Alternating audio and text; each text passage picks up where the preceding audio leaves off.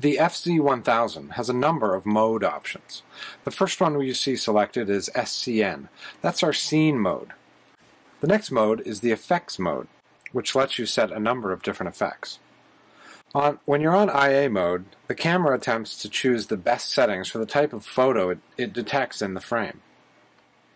Program mode allows you to adjust a lot of manual settings and the camera will take care of aperture and shutter speed.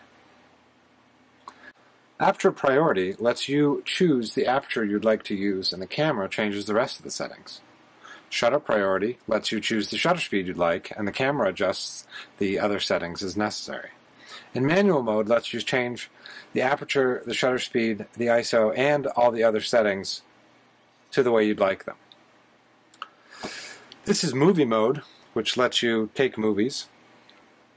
And C1 and C2 are custom, where you can change settings that you'd like and save them and you can quickly go back to them if you have photos that you take on a regular basis and you don't want to have to go and set the settings all the time.